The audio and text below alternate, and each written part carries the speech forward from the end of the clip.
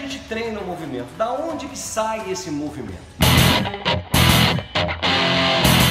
Tudo sai do quadril. O que interessa é o que o meu quadril vai interferir aqui em cima.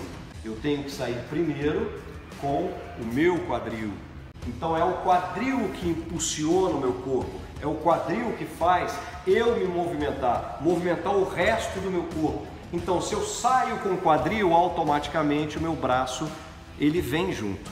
Então, eu tenho que comandar pelo meu quadril toda a movimentação do meu corpo. Eu não saio com o meu peito, eu saio com o quadril.